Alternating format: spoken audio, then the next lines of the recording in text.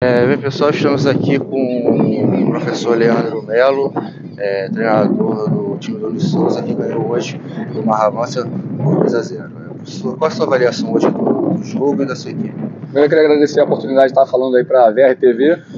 É, hoje a gente. Um jogo, acho que muito consistente do nosso time, né? É, a gente sabia, sabia que a gente precisava desse resultado, a gente veio de um placar diverso né, contra o Campo Grande e o time estava muito concentrado. Tivemos uma felicidade, né, nossa e felicidade deles com o jogador expulso no início do jogo, facilitou um pouco para a gente. Tivemos dois pênaltis que a gente não, não conseguiu concluir, mas o importante é, foi a vitória, para dar, dar, força para o time, continuar no, no, campeonato e agora trabalhar durante a semana para o próximo jogo que é domingo. É, e, e, o jogo né, foi muito intenso, vocês conseguiram imprimir uma boa velocidade no segundo tempo. É, qual é a análise que vocês fazem? Vocês acham que com esse time, com essa intensidade, dá para chegar? Essa é a do nosso jogo. É, bola no pé em pé e usar velocidade no último terço.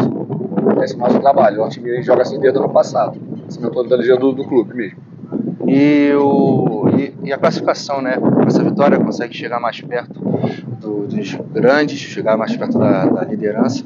Você acha que isso motiva a equipe? Ah, sim. Vitória sempre é, é motivacional para todo mundo, né?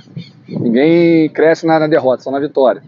E sempre tá bom estar tá pontuando para a gente estar tá sempre na frente. São a quarta rodada agora, o, o campeonato ainda está muito embolado e a gente espera manter sempre ali entre os quatro até o final.